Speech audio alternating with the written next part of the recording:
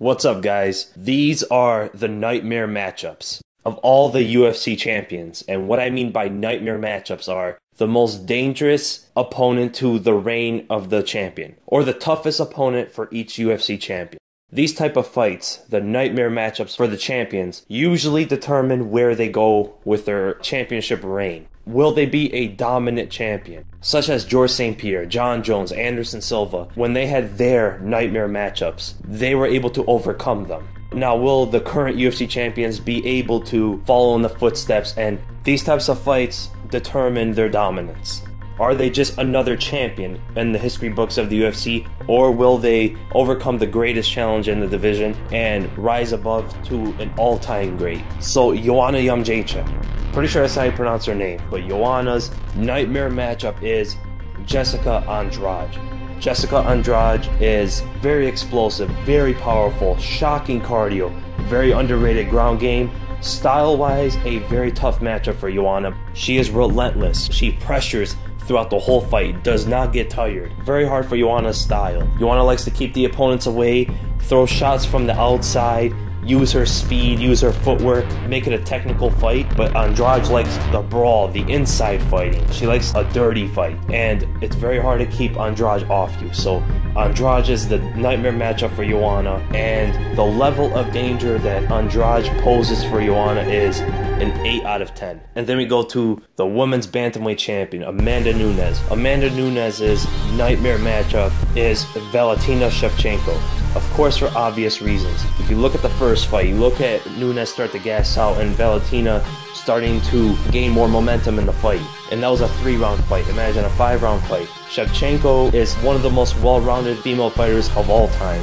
An expert striker, very technical on her feet, probably the fastest fighter in the bantamweight division. Very, very well rounded, developing her ground game at rapid speed, good in the clinch, and she matches up the best with Amanda Nunes. Nunes and Shevchenko are the most well-rounded fighters in the whole division's history. So it's a very tough fight for Nunes, the toughest in her division, and the level of danger from Shevchenko is a 7 out of 10.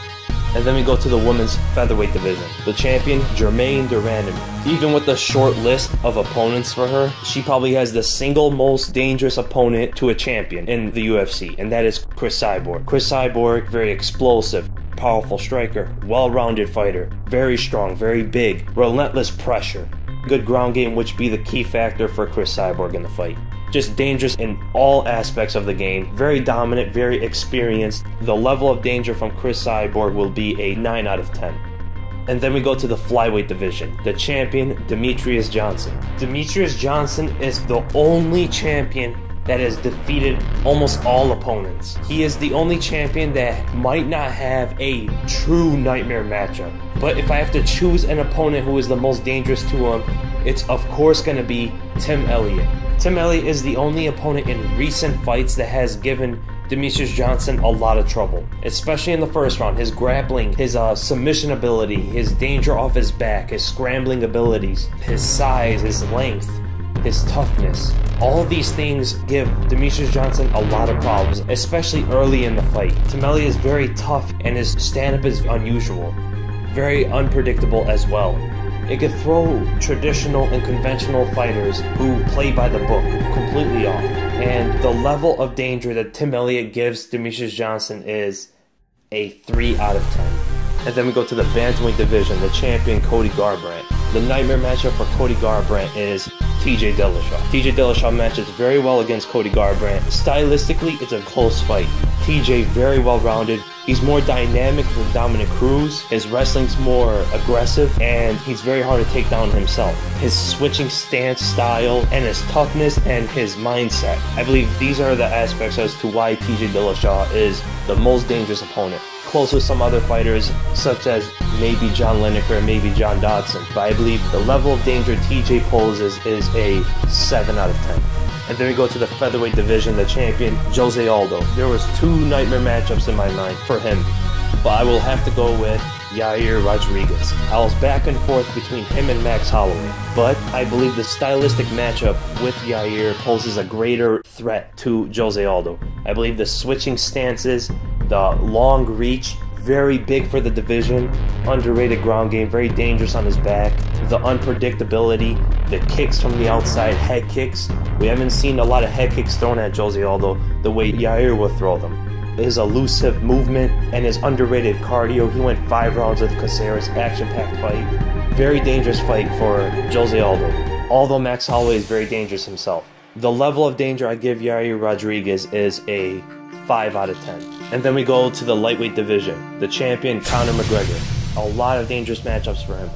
But if I would have to pick one, even though they're all close, if I would have to pick one, the nightmare matchup is Tony Ferguson.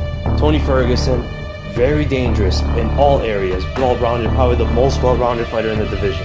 Has some knockout power, very good in wrestling, unpredictable. He's a risk taker. He goes for Imanari rolls, grabs D'Arce chokes in the standing position, capoeira techniques. His 76 inch reach can pose a lot of problems for Conor. His jab, his straight right hand, his lead uppercut, which is one of his best striking techniques. He's a danger to Conor in every position. He can take Conor down if he wants. He can go the wrestling route. He can go striking with Conor. He's very unpredictable himself, as is Conor, which makes it very interesting. Although many people say, oh, what about Khabib or what about Nate Diaz? What about even guys like Edson Barboza? I agree. Dangerous, you may be right. They're all close, but if I would have to pick, it's Tony Ferguson, and the level of danger he poses is an 8 out of 10. And then we go to the welterweight division. Tyron Woodley. A couple dangerous matchups for Tyron Woodley. For Tyron Woodley may have been the hardest to pick, the most dangerous opponent out of every champion. But the nightmare matchup is Jorge Masvidal. Jorge Masvidal, very dangerous, well-rounded in every position. Has good wrestling defense, very good grappling defense if it's on the ground. He's good off his back. He has some knockout power, quick for the division. He has some good kicks, very unpredictable kicks. They come out of nowhere. His jab is one of his best weapons. It could be a lot of problems for a guy like Woodley who likes to throw wide shots. He likes to throw right overhands a lot. And the thing that makes Jorge Masvidal one of the most dangerous fighters in the division for Woodley is Woodley likes to go against the cage. He likes to put his back against the cage. And against a guy like Jorge Masvidal, this could be dangerous. As we've seen with Jake Ellenberger. When Jake Ellenberger's back was against the cage, Jorge Masvidal was teeing off on him. And he was picking his shots, and he hurt Jake Ellenberger, who is very similar to Tyron Woodley, but not the same, but has a similar style. And the level of danger I give Jorge Masvidal is a 6.5 out of 10. And then we go to the middleweight division, the champion, Michael Bisping. The nightmare matchup for Michael Bisping is Yoel Romero. Yoel Romero, stylistically a nightmare for Michael Bisping. Has some of the best wrestling in the UFC. Knockout power in every shot he throws. He's a southpaw. Very elusive movement, very unpredictable movement. He lulls you with his footwork explodes out of nowhere, one of the fastest guys in the division. The only knock on him is his cardio, but he has the ability to knock out opponents even in the third round. He's done it a couple times. So Yoel Romero's level of danger to Michael Bisping is an 8 out of 10. And then we go to the light heavyweight division. The champion, Daniel Cormier. There's some factors for the nightmare matchup for him because it will be Jon Jones. but it will be a prime Jon Jones. If he does show up the way he showed up against OSP, then I don't consider him the nightmare matchup. But considering a prime Jon Jones, Jon Jones is the nightmare matchup for Daniel Cormier. Very, very talented in all areas. Good grappler, striker, in the clinch, wrestler, his Muay Thai is excellent. His boxing is good. Very unpredictable kicks. Unpredictable in every area, actually. We've seen he was able to take down Daniel Cormier without much difficulty in the first fight. His submissions are excellent. The most submissions in the division's history. And the level of danger from Jon Jones would be an 8.5 out of 10. And then we go to the heavyweight division. Stipe Miocic, the champion. The most dangerous matchup, the nightmare matchup for Stipe is Junior Dos Santos. JDS has elite boxing, good movement, extremely fast for the division, some of the best takedown defense. He has some good takedowns himself. His in and out movement is excellent. He's so accurate with his right hand. He mixes up his striking, even his kicks are getting better. Looking at the Ben Rothwell fight, and JDS may be in the prime of his career right now, looking from the Rothwell fight. So the level of danger from JDS is 8 out of 10. So these are the nightmare matchups for all of the UFC champions. Remember, this is an opinion, It's opinion based. I'm not claiming it's factual. I'm not claiming these are facts that everyone should agree with me. So thank you guys so much for watching. I hope you guys enjoyed the video. And if you did, be sure to give it a thumbs up. If you enjoy my content, make sure to subscribe. And in the comments below, share what your nightmare matchups are. The most dangerous matchups for every champion. I'm curious to see what you guys think, if you guys agree or disagree. So again, thank you guys so much for watching and I'll see you in the next video.